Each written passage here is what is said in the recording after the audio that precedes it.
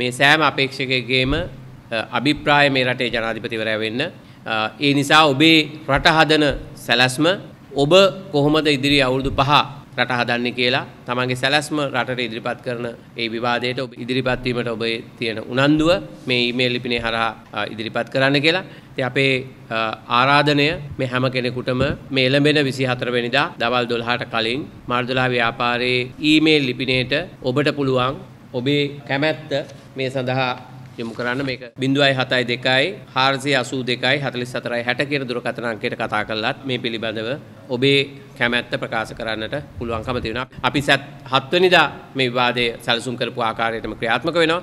ඒ ඒ සමානවම අනෙකුත් විවාද අපි ඉතා ආසන්න දිනවල බණ්ඩාරනායක සම්බන්ධ ශාලාවේදීම තියන්නට මේ වෙනකොට සැලසුම් කරලා තිබෙනවා. පෞද්ගලික ලාභ ප්‍රයෝජන වෙනුවෙන් ජනාධිපති අපේක්ෂකත්වය ලබා ගැනීම වැළැක්වීමට නීති සම්පාදනය කළ යුතු බව මාර්තු 12 ව්‍යාපාරයේ කැඳවුම්කරු රෝහණ එට්ටිආරච්චි මහතා පවසනවා. සමන්ගේ දේශපාලන පක්ෂයේ මතවාදය සමාජගත කරන්න තරම් කරන අය අපි අනිවාර්යයෙන්ම ඒ සඳහා ඉඩකඩ තියෙන්න ඕනේ. හැබැයි පුද්ගලික ලාභ අරබයා තරම් කරන පිරිස් ඉවත් කිරීම සඳහා නීති සම්පාදනය වෙන්නට ඕනේ. ඒක ඊළඟ පාර්ලිමේන්තුවේ වගකීමක් හැටියට අපි මතක් කරන්න කැමතියි. මැතිවරණ රැලිවලට සහභාගී වන අය මත්පැන් භාවිත කර ඒවාට පැමිණීමේ ප්‍රවණ ප්‍රවණතාවක් දක්නට ලැබෙන බව ප්‍රජාතන්ත්‍රීය ප්‍රතිසංස්කරණ සහ මැතිවරණ අධ්‍යන ආයතනයේ විදායකත්‍යක්ෂ මංචුල ගජනායක මහතා පවසනවා. මෙවර තවත් යම් ප්‍රවණතාවක් තිබුණ වෙනන් කවරදාටත් වඩා. ප්‍රචාරක රැලි සඳහා සහභාගිත්වය දැක්වීමේදී ඒ ඒ අදාළ ප්‍රදේශවලටත් වඩා යම් ප්‍රදේශයක ප්‍රචාරක රැලියක් තිබේනම් ඒ සඳහා සහභාගිවීමේ වැඩි ප්‍රවණතාවක් තිබෙන වෙනත් ප්‍රදේශවලින්. ඇතටම ඒ එන බස්රත නිසි ලෙස පරීක්ෂා කළ යුතු. යට හේතුව තමයි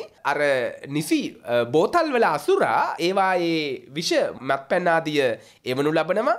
ඇත්තටම ඒවා පරිභෝජනය කරනු ලබනව මේ රැලි සඳහා එන පුද්ගලයන් ඊට අමතරව ඔවුන් තියෙන මෙහි ඉතාම හාසජනක තත්ත්වය තමයි අද දිනේ එක්දේශපාලන රැලියකට යන ආධාරකරුවන් තවත් දිනයක වෙනත් දේශපාලන පක්ෂයකටත් යනවා මොවුන් වැඩිපුරම මේ මත්පැන් පරිභෝජනය කිරීමේ අභිලාෂයෙන් තමයි බොහෝදුරට යන්නේ. ජනාධිපති දුර අපේක්ෂකින්ගේ වත්කම් හා බැරකම් ප්‍රකාශ ජනතාවට දැනගැනීම සඳහා අල්ලස් හෝ දූෂණ චෝදනා විමර්ශන කොමිෂන් සභාවේ නිල වෙබ් අඩවියට යොමු කිරීමට කටයුතු කර තිබෙනවා. අදාළ ප්‍රකාශවල හෙළි නොකළ යුතු බවට දක්වා ඇති තොරතුරු හැර අනිකුත් තොරතුරු මෙසේ ප්‍රසිද්ධ කිරීමට නියමිතයි. මේ අතර ඡන්ද පත්‍රිකා බෙදාහැරීම සඳහා විශේෂ වැඩපිළිවෙලක් ක්‍රියාත්මක කරන බව ජ්‍යෙෂ්ඨ නියෝජ්‍ය තැපල්පති රාජිතගේ රණසිංහ මහතා කියා සිටිනවා. සැත්තැම්බර් මාස දෙවනිදා එම නිල චන්ද දැනීම් පත්‍රිකා ඒ ප්‍රදේශවල පිහිටි දිස්ත්‍රික් ලේකම් කාර්යාලය මගින් තේරීම් භාර නිලධාරීන් මගින් තැපැල් දෙපාර්තමේන්තුව වෙත භාර දෙන බව.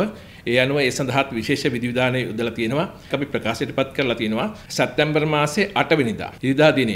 ඉරිදා නිල ඡන්ද දැනීම් පත්‍රිකා බෙදා හැරීමේ විශේෂිත දිනය විදිහට ප්‍රකාශයට පත් කරලා තියෙනවා. ඒ අනුව අපි බලාපොරොත්තු වෙනවා පෙරවරු 8 සිට පස්වරු 6 දක්වාම ඒ කටයුත්ත කරන්නට රජයේ නිවාඩු දිනේ. එම නිසා එම දිනේ නිල ඡන්ද දැනීම් පත්‍රිකා බාර ගැනීම සඳහා නිවසියන් ඒ නිවෙස්වල රැඳී සිටී කියලා අපි විශ්වාස කරනවා.